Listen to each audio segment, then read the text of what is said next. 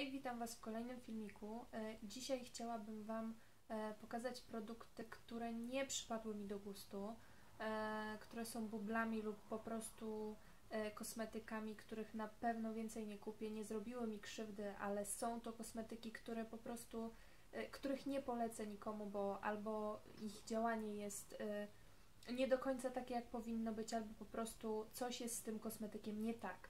E, I przejdźmy od razu do rzeczy. Na początku pokażę Wam pierwszy produkt do pielęgnacji.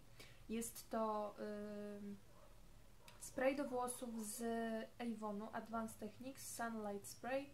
E, I to jest spray, e, który nas ma chronić przed filtrami UV. Jest tutaj napisane upiększający spray ochronny UV. I ma to polegać na tym, że właśnie spryskujemy włosy tym sprayem i on ma nam właśnie chronić te włosy przed y, wyjściem, przed słońcem i tak dalej, i tak. Natomiast y, powiem Wam, że y, jedyne co on mi robi, to skleja mi te włosy i sprawia, że one są takie strasznie tępe, że się plączą.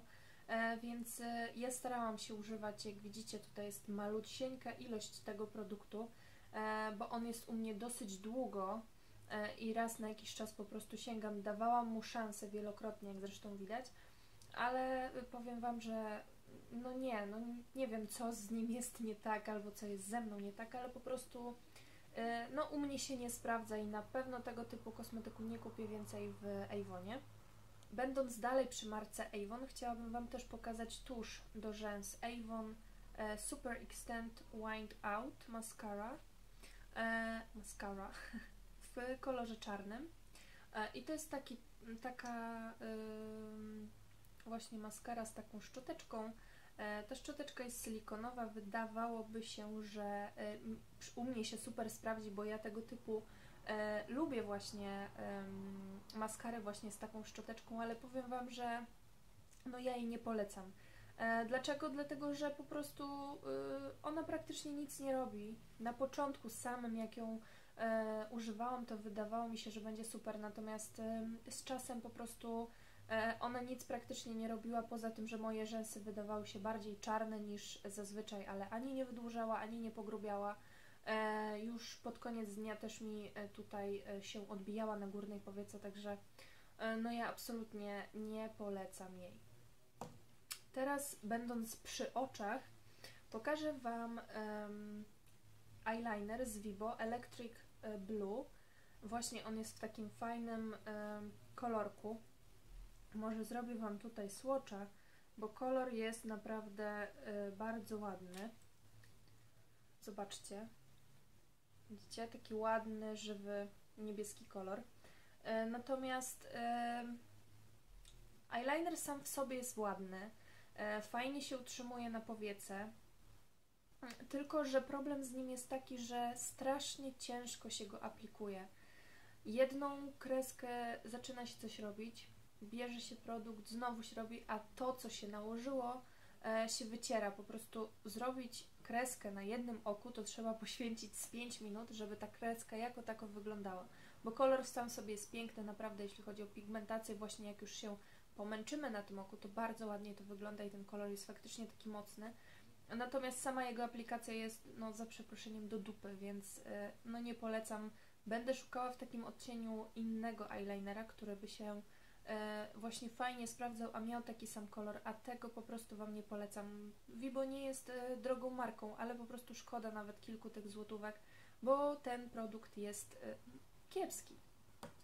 I ostatni produkt będzie to oczywiście z kolorówki do ust i to jest z Sephory szminka.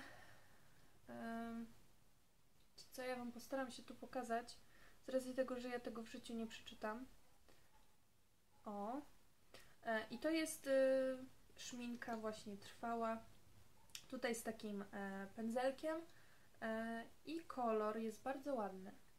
Kolor sam w sobie, szminka sama w sobie jest naprawdę ładna, ładnie wygląda na ustach, ale są dwie rzeczy, które mi okropnie przeszkadzają.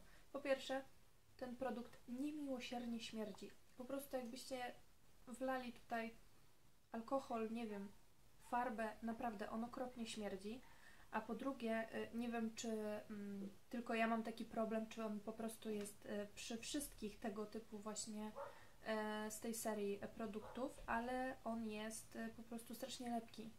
On nie zastyga tak jakby do końca i mi on się cały czas kleje. Mam po prostu cały czas wrażenie, jakbym miała jakiś, nie wiem, miód na ustach. E, oczywiście w negatywnym tego słowa znaczeniu i, i ja nie polecam jej, bo y, jak wiadomo, y, produkty Sephory nie są jakąś najtańszą linią w porównaniu na przykład do Vibo. E, I wolę już na przykład y, kosmetyk, jeśli chodzi o tego typu z Vibo czy z Bell, bo nie mam takiego problemu, natomiast tutaj jest dla mnie jeden wielki bubel, bo ja nie jestem tego w stanie używać, bo mi po prostu krew zalewa, jak mm, ja mam taki cały czas lepkie jakieś farfocle na ustach. E, I co jeszcze? On się wcale nie trzyma. Może nie wiem, mój jest stary, zepsuty albo coś, ale jeśli macie, mieliście, to dajcie znać koniecznie, bo jestem ciekawa, czy to tylko mój jest taki bubel straszny, e, czy, czy po prostu wszystkie są takie buble. E, I to by było na tyle. Pokazałam Wam wszystkie buble bądź kosmetyki, takie półbuble, których nie polecam, e, których na pewno nie kupię ponownie i na pewno po nie więcej nie sięgnę. Jeśli Wy macie jakieś takie e, mega buble i chcecie się nim podzielić, to jak najbardziej dajcie znać w komentarzu. Jeśli Wam się filmik podobał i chcecie więcej tego typu, to dajcie kciuka do góry. E, ja się z Wami żegnam i do następnego filmiku. Pa!